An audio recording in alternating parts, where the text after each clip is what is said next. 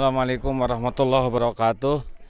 Ini adalah benteng Siwa, tempat pertahanan. Setiap orang memerlukan rasa aman, sehingga dibangunlah benteng begini. Tujuannya adalah supaya aman dari serangan musuh. Tetapi mengapa akhirnya banyak yang hancur juga? Karena benteng yang paling asli adalah benteng iman.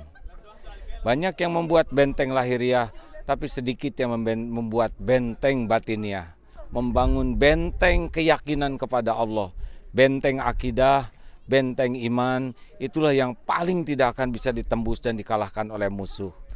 Hanya dengan keimananlah, amal soleh, tawasobil hak dan tawasobi sabr, kita akan kuat menghadapi musuh dalam bentuk apa pun juga. Assalamualaikum warahmatullahi wabarakatuh.